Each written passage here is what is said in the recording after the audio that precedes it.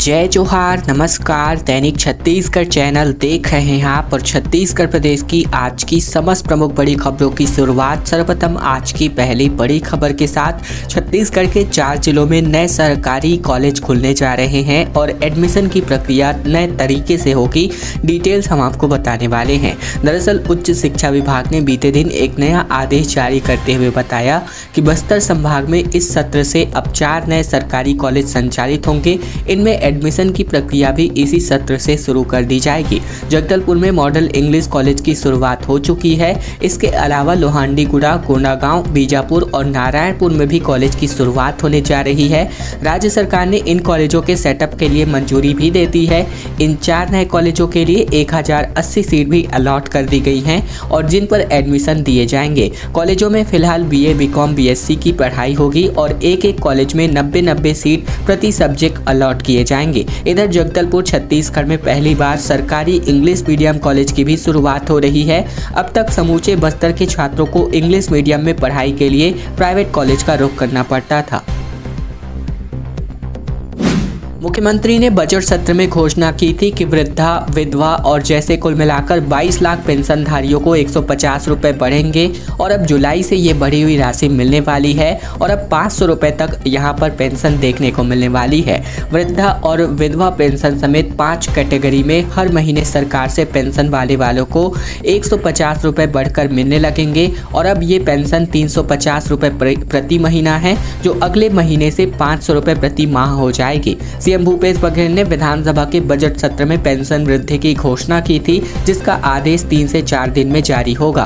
इन पेंशनधारियों को अप्रैल से लेकर के जून तक तीन महीने का एरियर्स भी दिया जाएगा और इस तरह जुलाई में तकरीबन 22 लाख पेंशनधारियों के खाते में सीधे पाँच सौ रुपए पहुँचने वाले हैं। समाज कल्याण विभाग ने पेंशन बढ़ाने की प्रक्रिया पूरी कर दी है।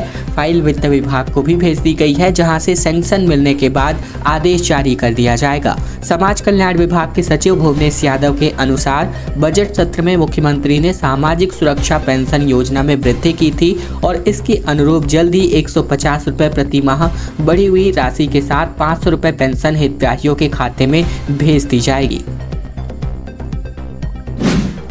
छत्तीसगढ़ में कहीं पर बारिश तो कहीं पर लू के जैसे हालात अभी नज़र आ रहे हैं और ये जो है छाँव और धूप जैसी स्थितियाँ निर्मित हो रही हैं।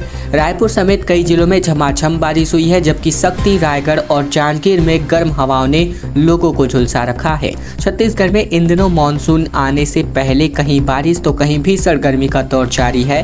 प्रदेश के कई जिलों में लू के जैसे हालात है तो कहीं झमाझम बारिश हो रही है। शक्ति ज़िले की बात करें तो तापमान पैंतालीस डिग्री के आसपास है जबकि रायगढ़ में चौवालीस और जांजगीर में तिरालीस डिग्री सेल्सियस तापमान रिकॉर्ड किया गया। वहीं राजधानी रायपुर समेत कई जिलों में दोपहर के बाद समय में झमाझम बारिश हुई है। मौसम वैज्ञानिक एच पी चंद्र ने बताया है कि रायपुर में हुई बारिश स्थानीय प्रभाव की वजह से हुई है। वहीं पिपर जॉय में हुई बारिश जो है मानसून की वजह से हुई है और इसमें और ज़्यादा देरी हो सकती है। छत्तीसगढ़ में फ़िलहाल गर्मी से कोई राहत के आसार नहीं है। मौसम वैज्ञानिक के मुताबिक आने वाले दिनों में तापमान बढ़ने बढ़ने के आसार हैं। 19 जून तक गर्मी से राहत मिलने की उम्मीद भी नहीं है। मानसून की एंट्री भी 24 जून के आसपास होगी। बाँध से पानी नहीं मिल पाने की वजह से आधा दर्जन से भी ज़्यादा गाँवों के किसानों ने एसडीएम कार्यालय का घेराव किया और चुनाव को बहिष्कार करने की चेतावनी दी, जबकि 22 जून को चक्का जाम करने की भी चेतावनी दी गई है। मामला राजनांदगांव के डोंगरगढ़ का है, जहाँ बुधवार को एसडीएम दफ्तर में आधा दर्जन से भी ज़्यादा गाँवों के किसानों ने बाँध से पानी की मांग को लेकर धरना दिया था और अब अपनी मांगों को मनवाने के लिए किसान तेज धूप में सड़क पर ही बैठ गए। कुछ देर बाद नायब तहसीलदार विजय साहू ज्ञापन लेने पहुँचे, लेकिन किसानों ने जल संसाधन विभाग के एसडीओ को बुलाने की मांग पर ही अड़ गए। किसानों ने एसडीएम ऑफ़िस का घेराव भी किया।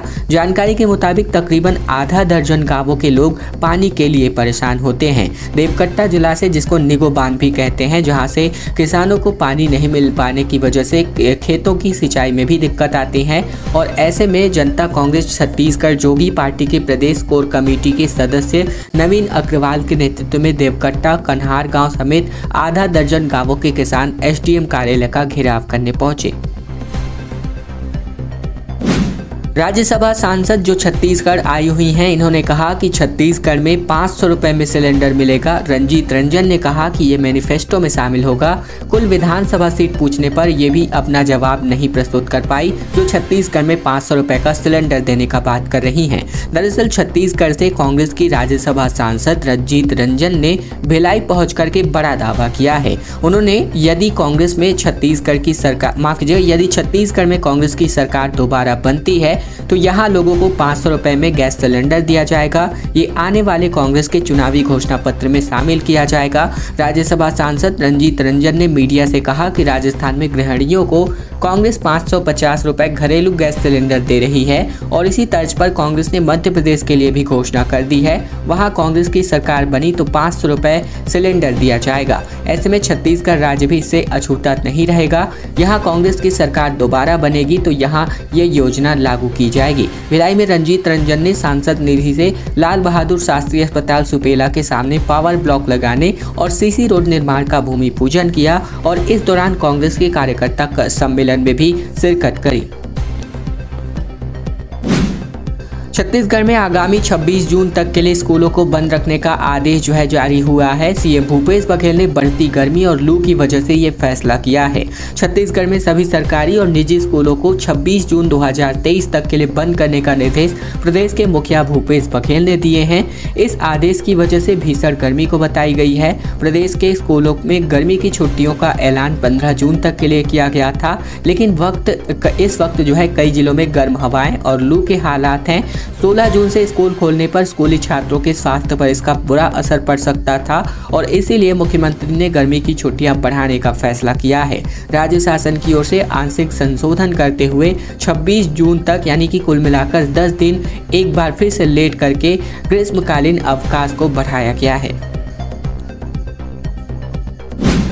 छत्तीसगढ़ की सब्ज़ी मार्केट में जो है भीषण आग लग गई, जिनमें 55 से ज़्यादा अधिक दुकानें जल करके खाक हो गई। फायर ब्रिगेड ने घंटों मशक्कत के बाद पर आग पर काबू पाया और लाखों का नुकसान होने की आशंका जताई गई है। छत्तीसगढ़ के बिलासपुर का खबर, जहाँ बुधवारी बाज़ार में बीते दिन तड़के एक भीषण आग लग गई, जिसमें पचपन से अधिक दुकानें और गुमटियाँ जल करके खाक हो गई। फायर ब्रिगेड की मदद से घंटों प्रयास करने के बाद आग पर काबू पाया गया। इस घटना में व्यापारियों को लाखों का नुकसान हुआ है। आगजनी के आगजनी के कारणों का पता अभी तक फ़िलहाल नहीं चल पाया है। पुलिस इस मामले की जाँच कर रही है। घटना तोरवा थाना क्षेत्र की है। वहीं बीते दिन अलग अलग चबूतरा बनाकर व्यापारियों ने गुमटी नुमा दुकानें बनाई थी, जिनके ऊपर से छप्पर के साथ बोरियों का छज्जा भी बनाया गया था।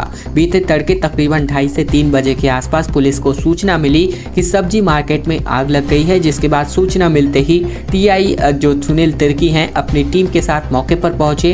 देखते ही देखते आग की लपटें बहुत तेज हो गई थी और उनको कंट्रोल रूम के साथ ही नगर सेना की दमकल शाखा को घटना की जानकारी दी गई थी।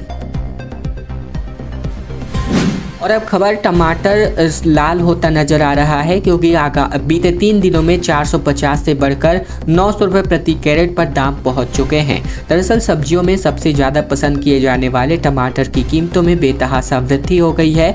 थोक बाज़ार में टमाटर के दाम 850 से लेकर के नौ सौ रुपये नौ सौ रुपये प्रति कैरेट तक पहुँच गए हैं। जबकि बीते दिन थोक बाज़ार में बात करें तो ये टमाटर साढ़े चार सौ रुपये में बिक रहा था। इस प्रकार थोक में ही टमाटर चालीस रुपये प्रति किलो तक पहुँच गया है और चिल्लर में पचपन से पचास से पचपन रुपये प्रति किलो पर बिक रही है। टमाटर के महँगे होने का असर अब होटलों पर भी दिखने लगा है। सलाद से टमाटर कम होने लगे हैं। सब्ज़ी कारोबारियों का कहना है कि टमाटर की आवक आवक काफ़ी कम हो गई है। स्थानीय आवक तो बिल्कुल नहीं के बराबर है और पूरी आवक के लिए बेंगलुरु पर भी निर्भरता बनी हुई है, जिसके कारण भी दाम में बढ़ोतरी लगातार होती जा रही है। रविंद्र चौबे के घर पर कांग्रेस की एक बड़ी बैठक संपन्न हुई है, जिसमें टी एस सहदेव ने कहा कि विपक्ष के कई नेताओं ने संपर्क किया, लेकिन मैं कहीं नहीं जाने वाला। छत्तीसगढ़ में कांग्रेस ने चुनावी तैयारियाँ अपनी तेज कर दी हैं। कृषि मंत्री रविंद्र चौबे के निवास में कांग्रेस की बड़ी बैठक संपन्न हुई, जिसमें मुखिया भूपेश बघेल, प्रदेश प्रभारी कुमारी सैलजा, विधानसभा अध्यक्ष चरण दास महंत, मंत्री टी एस सहदेव और ताम्रध्वज साहू, साथ ही पीसीसी चीफ मोहन मरकाम और मंत्री मोहम्मद अकबर मौजूद मौजूद रहे। इस बैठक में चुनावी रणनीतियों पर भी चर्चा हुई। बैठक के बाद मंत्री टी एस सिंहदेव ने कहा कि विधानसभा चुनाव की तैयारियों पर चर्चा हुई है। अगली बैठक 22 जून को हो सकती है। ऑपरेशन लोटस पर कहा कि कई पार्टी के लोगों ने मुझसे संपर्क किया, लेकिन मैं कांग्रेस को छोड़कर भाजपा या किसी दूसरी पार्टी में कतई नहीं जाने वाला। पीसीसी चीफ ने कहा कि चुनावी रणनीतियों पर भी चर्चा हुई है। हमारे नेता बड़े खूब बूथ तक जाएँगे और एक एक बैठक जो है 22 जून को संपन्न होगी एक और बैठक, जहाँ भाजपा का ऑपरेशन लोटस छत्तीसगढ़ में सफल नहीं होने की बात पीसीसी चीफ ने कही।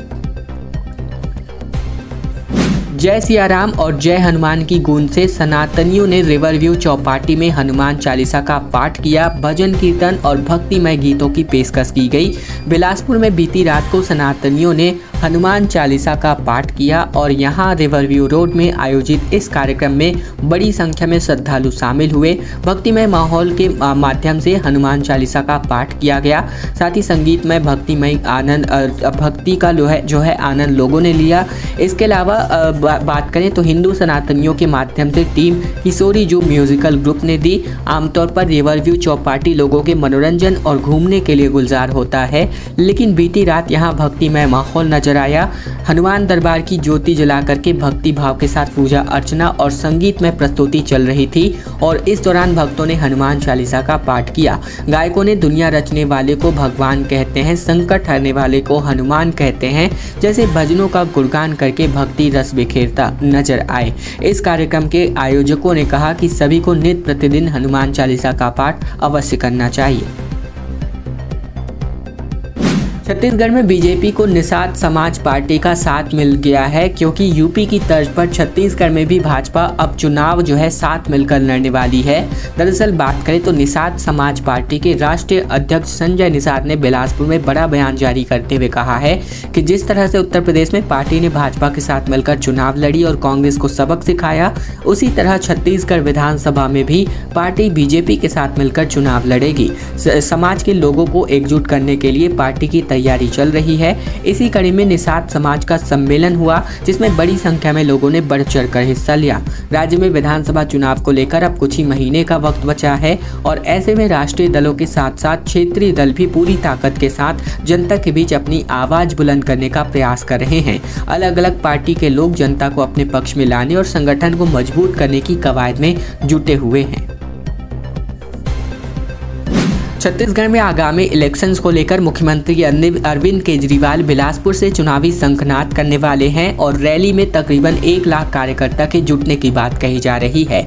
आगामी दो जुलाई को बिलासपुर में होने वाले महारैली में दिल्ली के मुख्यमंत्री अरविंद केजरीवाल, पंजाब के मुख्यमंत्री भगवंत मान के साथ ही प्रदेश भर से तकरीबन एक लाख कार्यकर्ता शामिल होंगे। जांजगीर में आयोजित प्रेस वार्ता में आम आदमी पार्टी के वरिष्ठ प्रदेश उपाध्यक्ष आनंद प्रकाश मेरी ने कहा कि महारैली को सफल बनाने के लिए युद्ध स्तर पर तैयारी चल रही है। पार्टी के कार्यकर्ता गाँव गाँव जाकर एक एक घर पहुँच रहे हैं और नियंत्रण पत्र दे करके पंजाब में आम आदमी पार्टी के सरकार की योजनाओं और नीतियों से आम जनता को विस्तार से बताया जा रहा है। इस दौरान मेरी ने राज्य सरकार पर जमकर निशाना साधा। उन्होंने कहा कि भूपेश सरकार ने छत्तीसगढ़ को भ्रष्टाचार का गढ़ बना दिया है।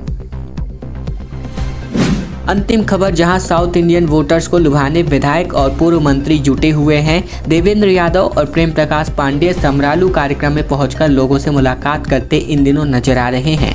छत्तीसगढ़ में विधानसभा चुनाव और अब मात्र छः महीने ही बचे हैं। ऐसे में दोनों ही पार्टी के नेता वोटर्स को लुभाने जुट गए हैं। बिलाई नगर विधायक देवेंद्र यादव और पूर्व मंत्री प्रेम प्रकाश पांडे दोनों ही लुंगी पहनकर इस समय आंध्र प्रदेश के अक्कुपल्ली गाँव में है। बिलाई में दक्षिण भारतीय वोट बैंक को साधने साधने के लिए दोनों नेता आंध्र समाज की देवी की पूजा करना कर, पर पूजा करने के लिए समरालू कार्यक्रम में शामिल हुए। आपको बता दें कि भिलाई में जब स्टील प्लांट यानी बीएसपी की स्थापना हुई थी तो आंध्र प्रदेश के पलासा मंडल अंतर्गत सिरसा कुल ज़िले से बड़ी संख्या में दक्षिण भारतीय लोग आए और यहाँ नौकरी करने लगे। रिटायर होने के बाद काफ़ी लोग अपने मूल स्थान लौट गए लेकिन बहुत से लोग यहीं बस गए और सिरसा कुला के अक्कोपल्ली गाँव में हर साल समरालू कार्यक्रम आयोजित किया जाता है और यहाँ बड़ी धूमधाम से पूजा अर्चना की जाती है।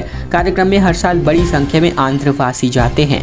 खैर दोस्तों, खबरों में लगातार अपडेट रहने के लिए चैनल पर नए हैं तो चैनल को सब्सक्राइब करना मत भूलेगा ताकि प्रतिदिन महत्वपूर्ण खबरें लगातार अपडेट छत्तीसगढ़ समाचार हम आप तक पहुँचा सके।